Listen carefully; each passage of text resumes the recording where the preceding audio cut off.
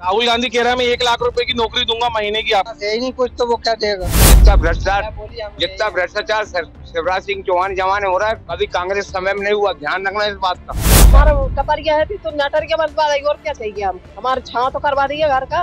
अभी एक दो किलो गेहूँ एक किलो चावल मिल रहे तो क्या हम महीना पूरा हो जाएगा। चुनाव मत लड़ाओ ना आप। लेडीज़ क्यों लेडीज़ को क्यों नहीं जाने देते सरपंच क्यों सहन करता है मनमानी करता। है मेरे हिसाब से तो शिवराज मामा ने इतना विकास किया है, कहीं भी चले जाओ, इतना विकास कोई मुख्यमंत्री ने नहीं करा है। बीजेपी का तो हंड्रेड परसेंट है यहाँ से जीतना। नरेंद्र मोदी के नाम पर वोट जाता है जो लोग उनके हैं उनके नाम पर नहीं जाता। है दबाव कचू का बटन वोट फूल पे जे। अरे कोई भी चीज़ है भैया पर रोड बनना चाहिए।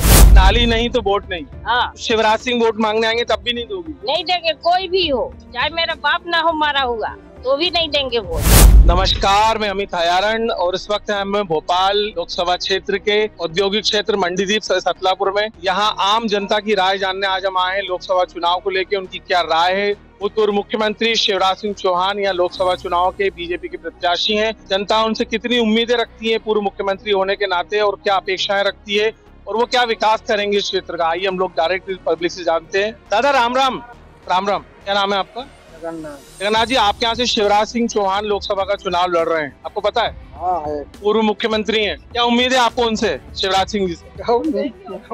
वोट देंगे क्या उम्मीद? वोट अपन को दे रहे हैं तो क्यों दे रहे हैं? क्या अच्छे क्यों अच्छे लग रहे हैं अपन को? वो इसलिए अच्छा लग रहा है कि हम लोगों की मदद कर रहा है। लाडली बहना जो उसके कारण आपको पैसा दे रहे हैं। हाँ हाँ उसीलिए प- वोट देंगे। और क्या अच्छाई है उनके अंदर? कुछ पता है आपको और कौन कौन से काम करे लिए अच्छे ही काम करे बहन बेटी उनके लिए सब कुछ तो अच्छा कर रहा है।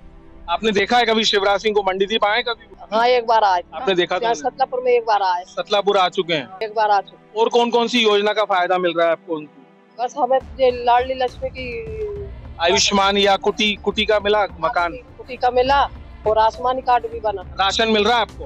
हाँ, हमको नहीं मिलता। आपको मिलता है राशन? आयुष्मान कार्ड वगैरह? काट तो है और किस योजना का फ़ायदा मिल रहा है आपको? और कोई फ़ायदा नहीं है बस। आपके परिवार में कितनी लेडीज़ हैं जिनको लाडली बहना का दो दो को। आप दो लोगों को आप इन्हीं के साथ हैं है ना? आप दो लोगों को घर में दो लोगों को लाडली बहना का पैसा मिल रहा है। लेकिन कांग्रेस कह रही है मैं मैं भी अठारह सौ रुपये दूँगी दो हज़ार रुपये दूँगी महीना आपको लगता है? हाँ, वो देंगे कहाँ से? राहुल गांधी कह रहा है मैं एक लाख रुपए की नौकरी दूँगा महीने की आप। यही नहीं कुछ तो वो क्या देगा? राहुल गांधी के पास। आपको लगता है सिर्फ़ चुनावी झूठ है? है और क्या? अभी तक जो मोदी जी ने किया आपको लगता है कि जो काम उनने किया आपको कौन सा काम अच्छा लगा? सब।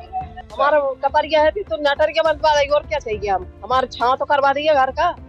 और क्या चाहिए उनसे? आज आपको घर दिया वो आप उसकी वजह से चाह रहे हैं वो फिर से चुनाव जीते। फिर से चुनाव जीते। फिर से प्रधानमंत्री बनेंगे तो आप क्या चाहते हैं आप उनसे कि क्या और भला करना चाहिए? गरीबों के लिए क्या योजना? अरे यही क्या हम बुज़ुर्ग हो गए तो हमें भैया खाने को चाहिए और क्या चाहिए?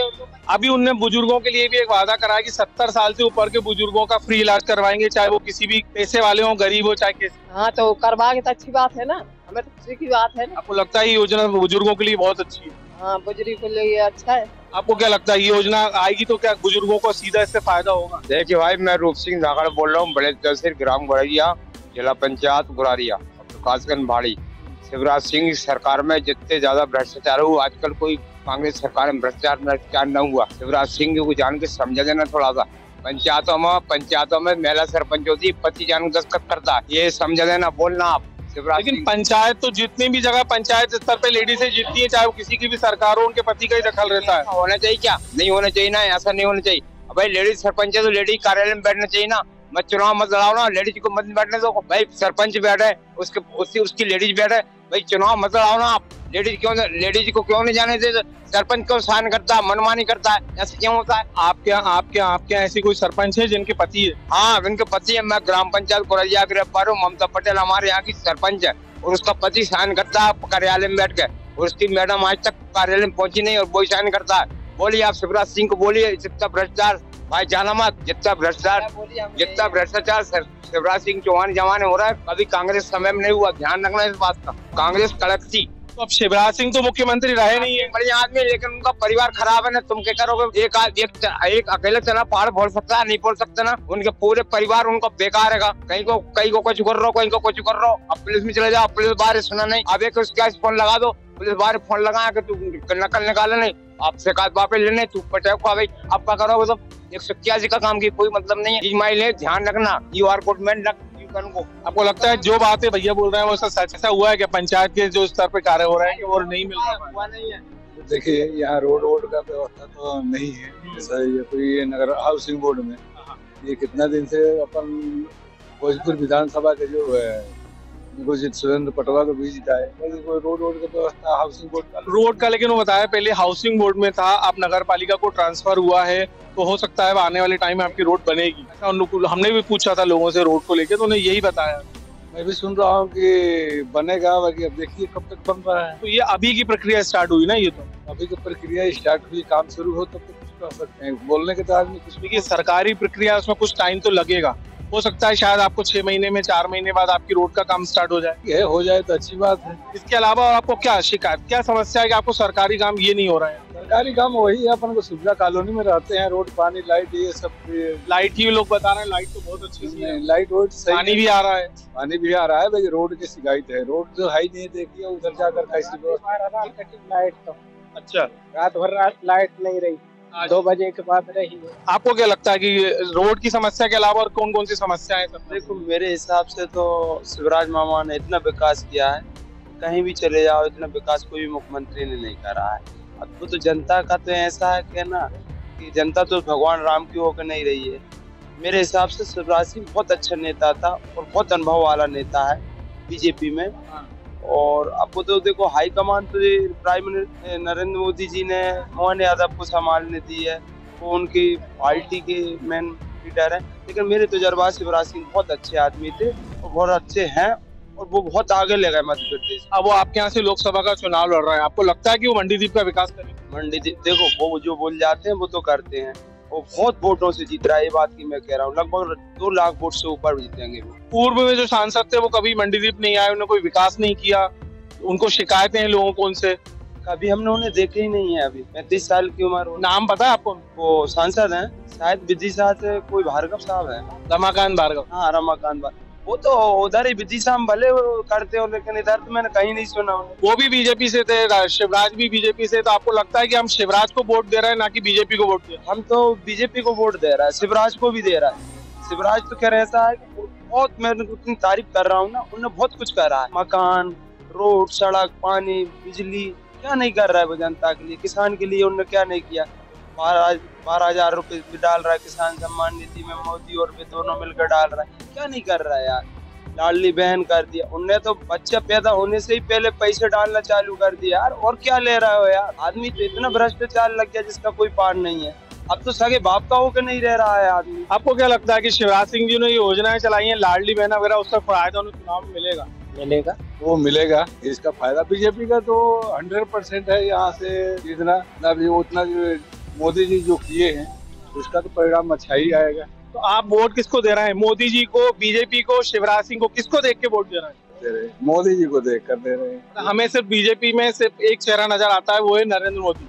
मो- नरेंद्र मोदी। सारी बीजेपी एक तरफ़ है नरेंद्र मोदी एक तरफ़ एक तरफ़ है। सब कुछ तो वही है। आपको क्या लगता है? नरेंद्र मोदी के नाम पर वोट जाता है जो लोग उनके हैं उनके नाम नहीं जाता। आपको क्या लगता है भाई साहब की जो वोट दिया जा रहा है वो सिर्फ़ नरेंद्र मोदी को देख के दिया जा रहा है कि उनके काम को नहीं काम को देख के दिया जा रहा है। जो उन्होंने यहाँ पे काम किया बहुत अच्छे अच्छे काम किए जो योजना बनाई है हमको जो लाभ मिले हैं वो देख के पहले जब मामा थे उस समय भी लाभ मिलता था।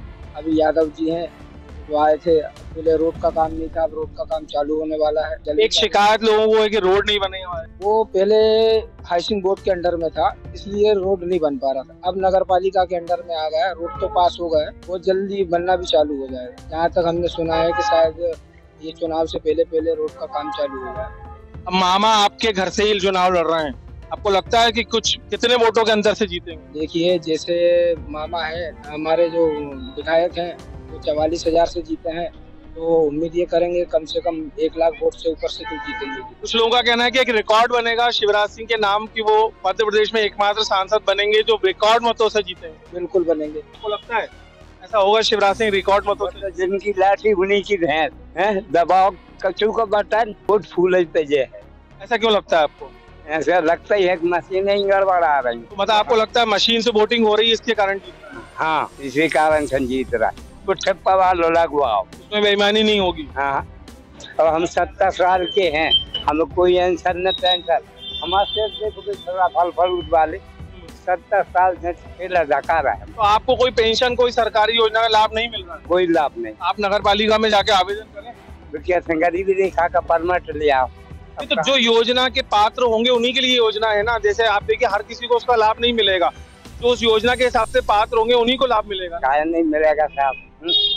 तो फिर आपको मना क्यों कर रहे हैं? क्या गरीबी रेखा का परमिट ले आओ? तो आप गरीबी रेखा में नहीं आते होगे आपके हाँ। पास दुकान है अच्छी मकान है आपके अरे न मकान है हमारा सवारा न कसी हमें नहीं मिलेगा राशन भर मिले यदि एक दो किलो गेहूँ एक किलो चावल मिले तो क्या हम महीना पूरा हो जाएगा? आप ऐसा पूछ रहे हो जाए एक तीन किलो गेहूँ और चावल महीना पूरा हो लेकिन योजनाएँ जो चलाती है वो पात्र व्यक्ति के लिए जो उसके योग्य हो। अगर अपन सभी को देंगे तो फिर सरकारी योजनाओं में तो फिर बहुत लोगों को योजना का लाभ मिलने लगेगा। सरकार से अच्छी तो हमें हमारे स्टेट दे रहा है हमें लाभ। अच्छा। कम कम सौ रुपया रोज तो दे हम बैठे बैठे। तो आप काम करते हो ना उनके इसलिए मिलता है कुछ नहीं करें। बिठा के तो रखते हो आपको हाँ। देखभाल के लिए? बैठा के रखें। तो सरकारी योजना का लाभ आपको जब ही मिलेगा जब आप सरकार की योजना के पात्र होगे। बीस रुपया को रोज को बिल्कुल क्या नाम है आपका? क्या नाम है? राम प्रसाद अहिरवाल। तो आप आप नगर पालिका में जाके मालूम करो कि हमें इस योजना का लाभ क्यों नहीं मिल रहा है। कल। मैं तो ये रोड बन रहा है। कभी बीस साल से कह रहा रोड बन रहा है भैया भैया कह रहे हैं कि रोड बनने का काम शुरू होने वाला है। क्यों भैया? अब आप हाँ चालू होने वाला है। आप आप हम तीसरी बार आ रहे हैं आपके मंडी द्वीप में। सतलापुर पहली बार आए। सतलापुर के लोगों ने हमें बताया कि रोड की समस्या सबसे बड़ी है। क्यों भैया आपको क्या लगता है? समस्या सबसे ज़्यादा भाई साहब यहाँ पे। देख रहा है आप कैसे रोड हो रहा है लेकिन विधायक जी कह रहे हैं कि अब यहाँ का काम स्टार्ट होने वाला है अब भूमि पूजन हो चुका है इस काम का चुनाव आचार संहिता खत्म होने के बाद काम चालू हो जाएगा। देखते भाई साहब क्या होता है विधायक साहब के ऊपर है शिवराज सिंह आपके यहाँ से चुनाव लड़ रहे हैं आपको लगता है शिवराज सिंह अच्छे नेता हैं? जो यहाँ से रिकॉर्ड मतों से नहीं भाई शिवराज सिंह की ओर तो भाई कोई सा नेता भी नहीं कर सकता क्योंकि हम उनके गाँव के रहने वाले हैं। जेतपुरा के? हाँ जेत के। क्या तरक्की करी जेत में उन्होंने कुछ तरक्की करी? तरक्की तो वहाँ पे खूब हुई है रोड वगैरह बनवा दी रोड वगैरह पूरे इलाके के एक एक नंबर रोड है हर जगह व्यवस्थाएँ सही है। भाई नर्मदा जी का घाट भी उनने अच्छा बनवा दिया हर घाट नर्मदा जी के, के हर जगह के घाट अच्छे करवा दिए उनने। अच्छा। हाँ। तो हम हम तो यही उम्मीद करेंगे कि आपकी उस मनोकामना पूरी हो। जो भी व्यक्ति यहाँ से चुनाव जीते चाहे वो किसी भी दल से हो आपके रोड का काम आपकी समस्या हो। जाए। क्या लगता है आपको रोड की ज़रूरत सबसे ज़्यादा हाँ? सबसे ज़्यादा भैया बहुत परेशानी है रोड से तो बड़े भाई। शिवराज सिंह जीतेंगे आपके यहाँ से तो लगता है आपको रोड बन जाएगा अरे कोई भी जीते भैया पर रोड बनना चाहिए। हमारा नाम है? नाम क्या आपका? आकाश भैया। आपको लगता है क्या? रोड की समस्या के अलावा और क्या समस्या है? हमारी घर हमारा कब्जा करना हो इंसानों ने हमें हम बेघर हो गए बेघर हो गए। तो आपने सरकार से शिकायत नहीं करी सरकार में अभी नहीं करी अब करेंगे। हेल्पलाइन बता दो अब। हम उन्होंने ये वोट देते हैं शिवराज। शिवराज सिंह आएँगे आपके यहाँ तो आप उन्हें बताना। हाँ बताएँगे। चलिए हमारे साथ और भी लोग जुड़े हैं। आपके यहाँ रोड की समस्या के अलावा और क्या समस्या है? समस्या स्ट्रीट लाइट्स नहीं है। स्ट्रीट लाइटें यहाँ की नहीं जलती? यहाँ की नहीं मतलब अंदर एरिया में स्ट्रीट लाइट्स नहीं है कम जलती है। आपके एरिया में है कि बाकी सभी जगह मोस्ट ऑफ़ द एरिया में। और क्या शिकायत है आपको और क्या चाहते हैं आप सरकार से और क्या सुविधा होनी आपको अनाज वगैरह मिलता है? और आपको लाडली बेना के पैसे मिलते हैं आपको? हाँ मिला मम्मी को मिला कितने लोगों को मिलते हैं? मम्मी को मिला शादी नहीं हुई अभी। भाई शादी होगी तो पत्नी को भी मिलेंगे ना लाडली? हुई ना तो दो सौ रुपए चक्कर शादी थोड़ा करूँगा बाहर तो। भाई दो सौ नहीं मिल रहे हैं बारह सौ पचास मिल रहे हैं। आपको लगता है लाडली बेना योजना से शिवराज सिंह की योजना से बीजेपी को बहुत फ़ायदा हुआ है? हुआ है ना। आपको मिलते हैं लाडली बेना के? हाँ साढ़े छह सौ आती है छह सौ पेंशन आता है। नहीं साढ़े बारह सौ रूपए है लाडली बेना योजना की। तो पेंशन में जोड़ के आती है ना। अच्छा, जो पेंशन आ रही है उसमें से कट के वो छह सौ रूपए उसके साथ जोड़ के आ रहा हाँ। कितने लोगों को मिलते हैं आपके घर में? बस मुझे मिलता है। बहू को या बेटी को या किसी नहीं है बेटी है बेटी को कहाँ मिल रही है? फार्म ही नहीं भरा है। अच्छा। अभी शादी नहीं हुई उनकी। नहीं। और उसके अलावा आपको लगता है कि और कोई सुविधा है यहाँ पर जो आपको ज़रूरत है? अब अपने का सुविधा सब तो सुविधा अनाज लाइट मिल रही है। अनाज मिल रहा है लाइट भी मिल रही है सब चीज़ है ये है। एक रोड की समस्या है बस। बस यही रोड बहुत बेकार है। शिवराज सिंह चौहान। अपने हमारे उधर नाली नहीं है। अच्छा। रोड पर पूरे पानी जाके देखिए कैसे कीचड़ मच रही है। जब इलेक्शन के टाइम आता है जब ही आते हैं सब मंत्री सब घूमने के लिए उसके बाद से जीत गए घर जाके बैठ गए। तो नगर पालिका तो आपके यहाँ बीजेपी की है तो आपने शिकायत नहीं करी कभी? अब हम अकेला क्या करें? आपके मोहल्ले के लोगों ने सबने मिलके पार्षद जो आपके हैं उनसे? वो बोलते हैं सब कोई आता ही नहीं पार्षद तो आते ही नहीं है।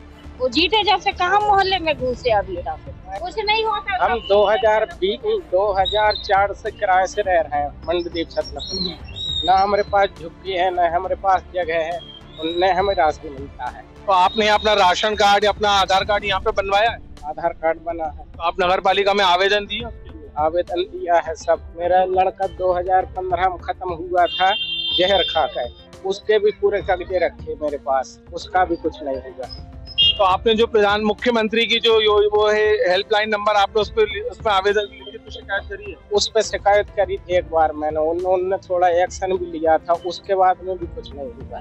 अब शिवराज सिंह आपके एरिया से चुनाव लड़ रहे हैं। आप चाहते हैं कि उनको ये समस्या आप बताना चाहेंगे? एक बार बताई थी उनको मैंने।